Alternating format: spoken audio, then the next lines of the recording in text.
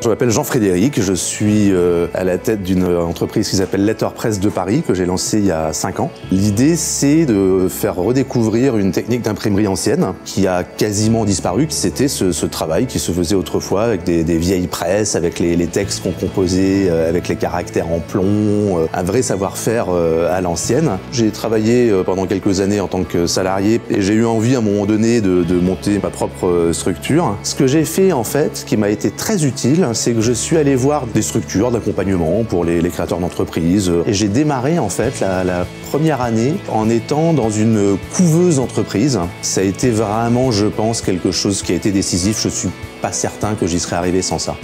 Il faut beaucoup d'humilité, accepter de, de bah, d'en baver, quoi, hein, de bosser beaucoup, beaucoup, de pas forcément se payer pendant quelques temps. On se redécouvre, on se réinvente au, travail, c'est, c'est vraiment euh, important. Donc ça, ça fait partie clairement des, euh, des aspects euh, sympas, quoi, agréables de l'entrepreneuriat. On se révèle aussi hein, sur, sur ce qu'on est capable de faire, parce qu'il faut que ça vienne de soi-même. On n'a personne derrière pour dire ce qu'il faut faire et comment le faire, donc il faut être capable soi-même de prendre des décisions, euh, d'imaginer de, des solutions, etc. Donc euh, ça peut être révélateur aussi de si on a euh, cette capacité ou pas. Et donc c'est une bonne expérience.